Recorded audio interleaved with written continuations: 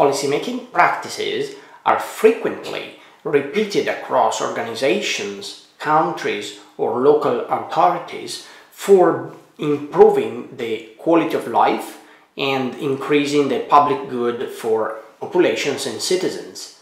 However, very frequently these practices are not shared across organizations, across institutions.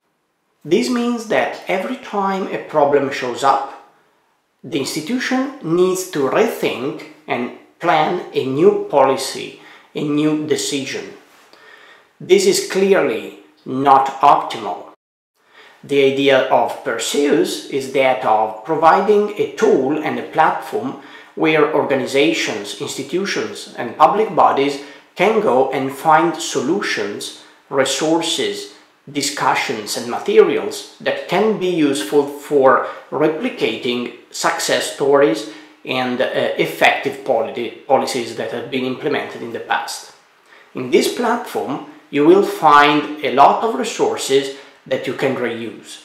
You will find, for instance, tools for public engagement, gamification of problems. You will find databases and knowledge bases of resources pointing to documents and other kind of assets that you can reuse. You will also find um, resources that are aimed at data analysis, data exploration of past experiences for understanding phenomena and possibly detecting repetition of patterns. All of this is an asset provided to you by a bunch of projects that have been developed under the European Union H2020 program. Among those, we cite Periscope and Trigger as main contributors.